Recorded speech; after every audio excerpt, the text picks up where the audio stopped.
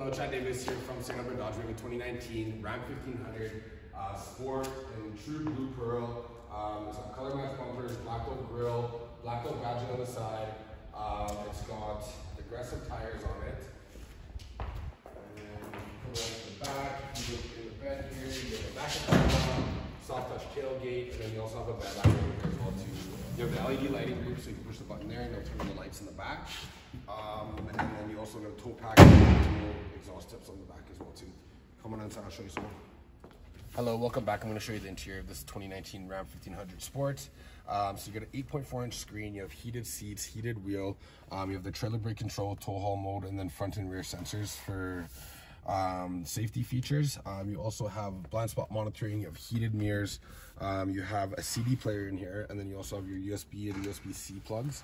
Um, lots of room in the storage console here. And then um, you have leather with uh, mesh seats.